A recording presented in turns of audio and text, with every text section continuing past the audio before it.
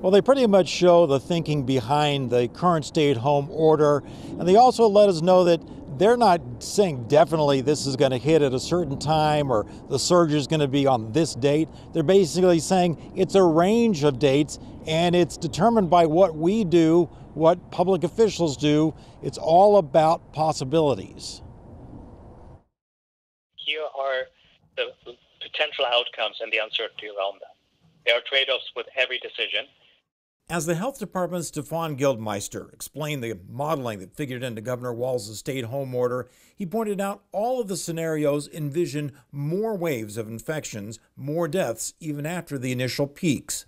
Just because we're staying at home doesn't mean that the virus is not waiting for us to come back and infect people um, through its typical routes of infection. So it is not once you have accomplished uh, passing a peak um, that all is all is well. Um, the disease will continue to circulate. Governor Walz has described his stay at home order as a way to push the peak from May to July to buy hospitals more time to get ready for the surge in new patients.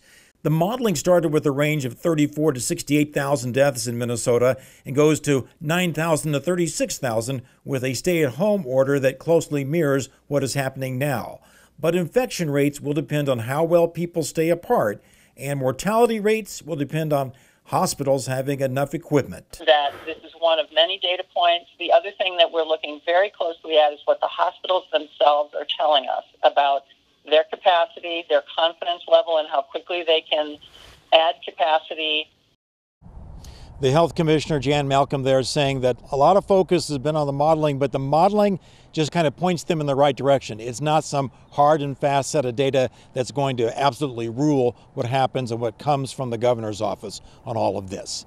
Back to you. All right.